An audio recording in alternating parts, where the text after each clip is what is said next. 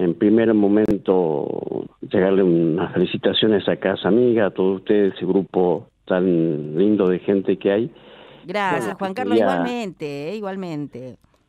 Y bueno, y después volviendo a lo nuestro, y realmente la expectativa hace rato se viene superando. Eh, el periodo invernal está prácticamente, en julio ha logrado ese, en esta semana el punto distributivo prácticamente un 100% y un poco más, ¿no? Porque se habilitaron casas así privadas que lamentablemente tampoco tienen un control, pocas son las que vinieron acá, contrataron una mucama, eh, lamentablemente esa irregularidad persiste. Digamos, una, una, competencia desleal para aquellos empresarios que tienen todo en regla, que pagan aporte, impuestos, pero bueno, eso es algo que que es una lucha bastante compleja en llevarla adelante, ¿no? Entonces, según los datos que manejan desde el, desde el gremio, ¿hay eh, también ocupación importante en capital? Sí, sí, sí, bastante, bastante, bastante, y bueno, y después la quebrada prácticamente hace rato que, está al 100%, y vuelvo a decirte, tanto en Capital como en el norte se habilitaron casas privadas este, para, para hospedaje. Y bueno, es bueno esto, pero también, como siempre reclamamos, el tema de la informalidad laboral, que está es muy alta, la actividad viene trabajando bastante bien hace meses. Y, bueno, ¿No está respondiendo el Ministerio de Trabajo con, eh, por ejemplo, las eh, inspecciones para evitar tanta informalidad?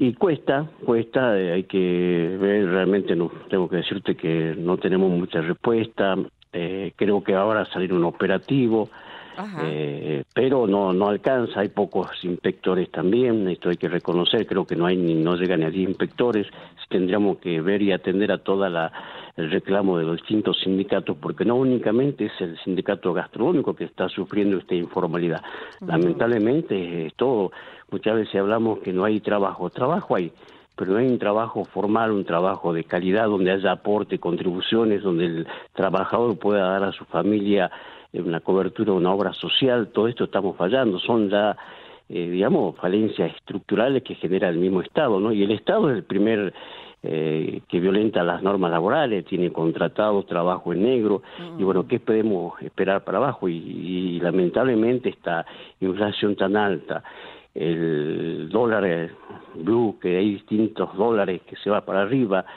eh, licúa todo, ¿no? Eh, uno entiende, el empresario es caro aporte y contribuciones, uno habla con ellos y siempre te dicen esto.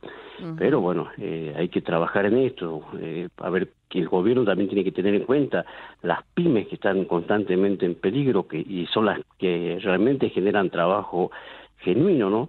Y esto eh, afecte mucho ahora con estas nuevas restricciones que hay al dólar, impuesto nuevo al dólar turista. Veremos si ojalá no nos afecte, porque un turista uno mismo, eh, si se acompleja todo para ir a disfrutar, me voy a otro lado. Ahora, este Juan Carlos, eh, hay una cantidad de, mm, turistas este, importantes entonces para esta temporada invernal, ese es el dato eh, positivo, los locales se están levantando, entonces a pesar de que, digamos, el impacto inflacionario se da, porque si hablamos de restaurantes o confiterías, evidentemente los insumos y los comestibles van incrementados, pero este, a pesar de esto el movimiento se está dando. Eso sería el dato positivo. Sí, sí, sí, totalmente, totalmente. Así que, bueno, yo siempre digo, Jujuy una provincia bendecida, ¿no? Que también eh, nos vimos, tenemos un alto porcentaje de visita al turismo interno de nuestro país que está elegido Jujuy. Perfecto. Y más allá del turismo, eh, Juan Carlos, el tema de estos agasajos por el Día del Amigo también, ¿se han notado mucho más reservas? Ese dato todavía no lo manejan, esperan unas horas todavía. Eh, sí, sí, Claudia, bien temprano hacen los compañeros así informe, tanto van a cuidar el peso también, mucha organización en la casa, algo privado, pero es constante, hay fechas determinantes, Día de la Madre, Día del Padre, Día del Amigo, despedida de fin de año, que siempre están eh, superando y, digamos, y ocupando el, todo el servicio gastronómico que tenemos en Jujuy. Eso siempre se ha dado. Años atrás, bueno, un poco había, se había resentido, pero hoy es, alto el porcentaje, es muy alto. A Dios gracias, a veces está trabajando, pero bueno, eh, hay que seguir apostando. ¿no? Sí, sí, como todo en este en este país donde lamentablemente a diario las noticias son las malas noticias en lo económico este son son muchas ¿eh? bueno y no, únicamente decía la suba de los eh, también de los servicios particularmente el sindicato veníamos pagando hasta este mes 92 mil pesos en luz sin ser somos una entidad sin fin de lucro ahora me ha llegado una, una factura por 180 mil pesos en esto ya me reuniré con los 120 porque esto se va a ir aplicando a todos Claro. los servicios han seguido subiendo y no únicamente, bueno, uno, la infraestructura, que tiene, lo sé que hay que pagar. Pero la gente que no tiene, el trabajador común, esto al mismo empresario, todo esto ha afectado a todos.